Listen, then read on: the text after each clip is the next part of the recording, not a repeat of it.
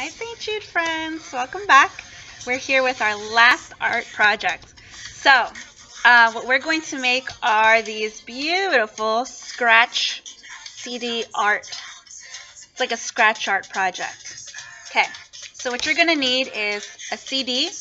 Okay, we're going to use the shiny side, the reflective side. My side has both, but I'm going to do this one. Um, you're going to need some black paint. So it can be any type of paint. It can be tempera or acrylic, but just black paint. You're going to need some type of brush. I'm using a foam brush, but you guys can use a regular brush like this too. Alright, and then you're going to need something to scratch it with when it's dry. So I have these from the art classroom, which is a little um, pointed edge and you could also use a needle if you have that at home, if your parents let you.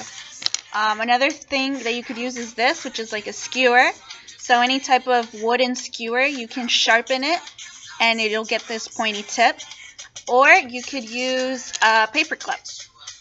Okay, so I have my CD. First thing I'm going to do is I'm going to paint it black, okay? So I already have that ready to go here on this one. So I painted it black and then I let it to dry overnight. Okay, so this project will take um, two days. Once it's dry like this, you can start to scratch your CD. So I like to take this pointed one, the metal one first, and I carve out a design. So let's say I want to do some um, petals. So I'll go back and forth on that line slowly just like that. And you'll see the reflective side is starting to pop out. Then I'm going to do the other side of that petal.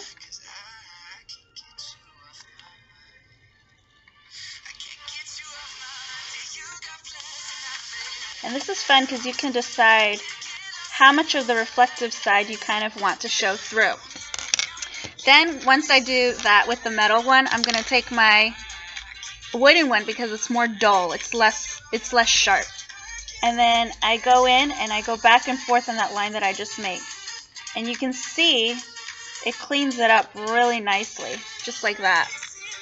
So it goes from this to this. And do the same thing on the other side. I'm just going back and forth.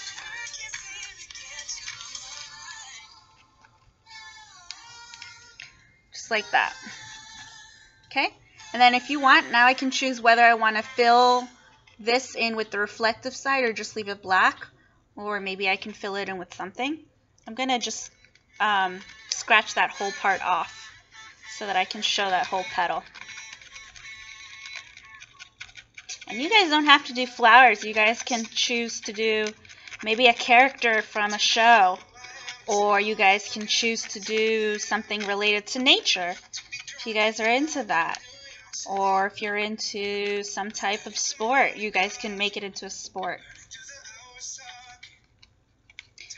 Alright. So there's one petal.